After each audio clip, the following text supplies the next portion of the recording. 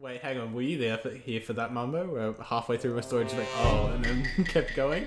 yeah. Yeah, fucking killed. Screams in the middle of the story. He goes, oh. That's because I walked past. Anyway, Hank and then Mur- keeps talking and doesn't report. Yeah. No, dude. I uh, when but every everything before that first vote, I was I was actually in the toilet peeing. Do you guys So- take your hats off? so Cream. fucking- You got no hat on. Oh no, you got your hat. Yeah, bro. I've got my dummy, dummy thing. So like, I walked past Hank.